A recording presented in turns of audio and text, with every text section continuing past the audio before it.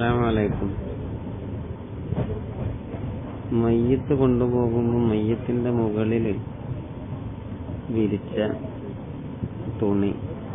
അത് മറവ് ചെയ്യുന്ന സമയത്ത് കബറിലിട്ടിട്ട് അതിന്റെ മുകളിൽ മണ്ണിട്ട് മൂടി കളയാറുണ്ട് അപ്പൊ അത് അനുവദനീയമാകുമോ? ഇല്ലേ.